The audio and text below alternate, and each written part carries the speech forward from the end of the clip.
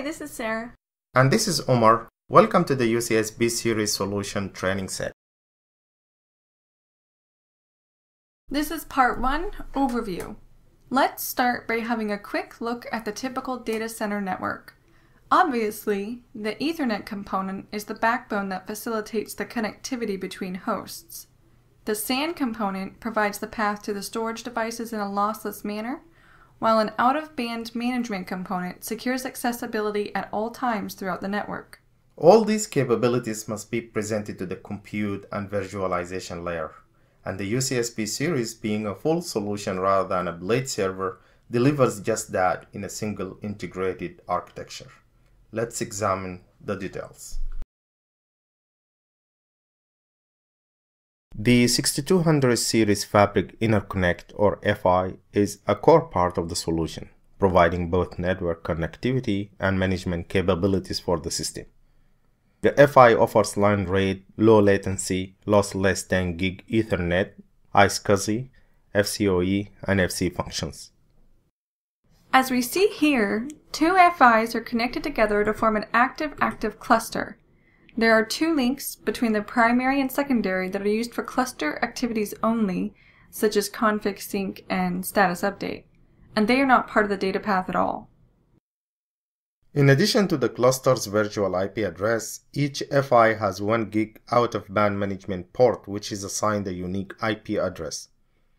It is important to know that these ports provide management connectivity to the server's KVMs as well, removing the need for any extra external cabling.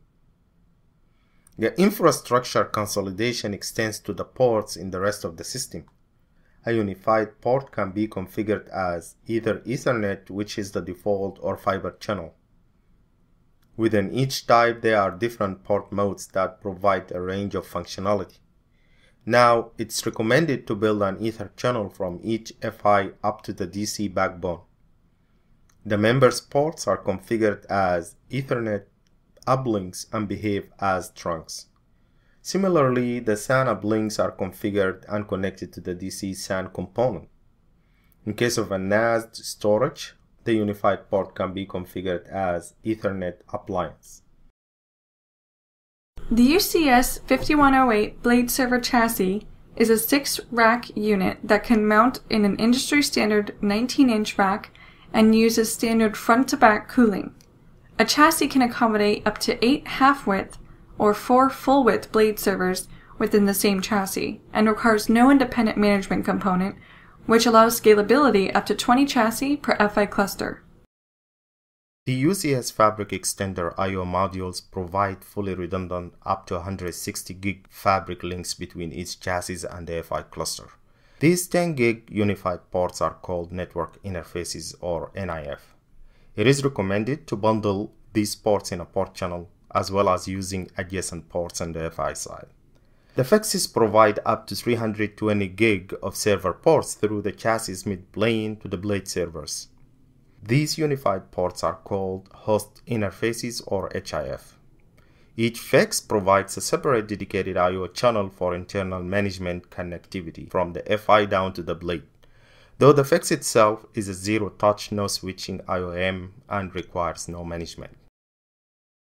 A range of blade servers are available to choose from.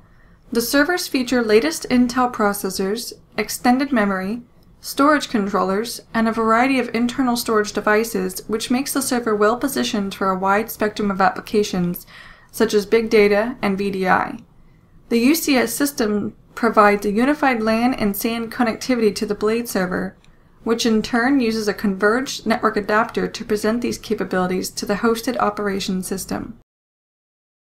A converged network adapter or CNA provides Ethernet and FC capabilities on a single card. A Cisco Virtual Interface Card or VIC provides up to 80 gig of unified ports to the chassis mid-plane and virtualizes the CNA concept by presenting to the host up to 256 PCIe that can be dynamically configured as either network interface cards, VNICs, or host bus adapter, VHBAs. Each PCIe interface created on the VIC is associated with an interface on the FI. Subsequently, The FI creates a virtual interface, or VIF, to identify the originating PCIe interface and build a virtual cable through the system unified path. Cisco UCS Manager or UCSM provides unified embedded management of all software and hardware components of the system across multiple chassis and thousands of virtual machines. It presents an intuitive GUI, a rich CLI, and full set of XML APIs. The UCSM controller is embedded on each FI and the primary owns the cluster's virtual IP address. All the managed FIs, chassis, and components are part of one UCSM domain that can include up to 160 blade servers. Within the domain, the UCSM participates in operation activities such as server provisioning, device discovery, inventory, and configuration. It also provides many reporting capabilities like diagnostics, monitoring, fault detection, auditing, as well as statistics collection. That sums up part 1 of UCS B-Series solution. For more of this training set, you can check out part 2, System Virtualization. Thanks everyone.